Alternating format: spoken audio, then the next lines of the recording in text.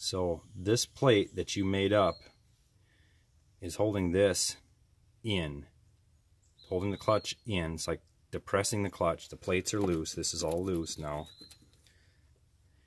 And one thing you should note is that this plate can't be any thicker than what I've got here, about a quarter inch, because it has to go past the casting down on the bottom. It also has to be able to clear this grease fitting, and it barely clears at a quarter inch. So I know there's pictures on the internet of big giant ones of these, but I don't know how they're turning their clutch all the way around or how they're getting past this.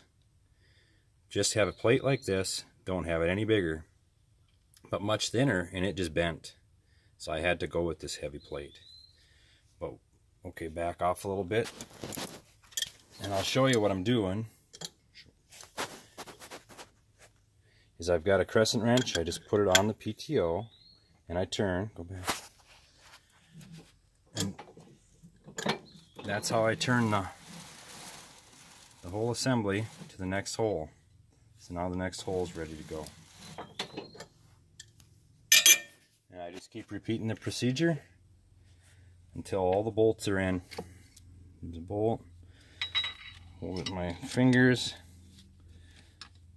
Hold it up so it lines up with the hole and then roll it in the ends of your fingers.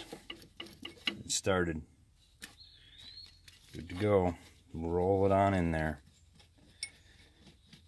Um, oh, one other note. Don't put these on until you need to.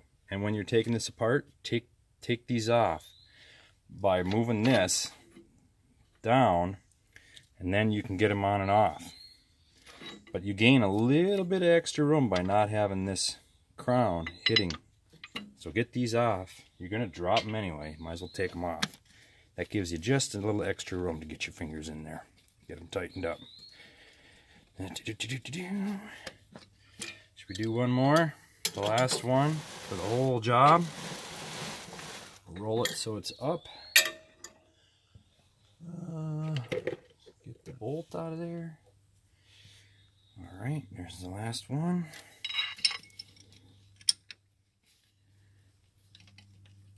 And then start it in, lift it up so it lines up with the hole. This one's being a little more difficult. There we go, started. Get it on in there, and that's it. I hope this video helps. Anybody that's having trouble with these doggone little bolts. I don't know who invented this, but they wanted to challenge us. Thank you.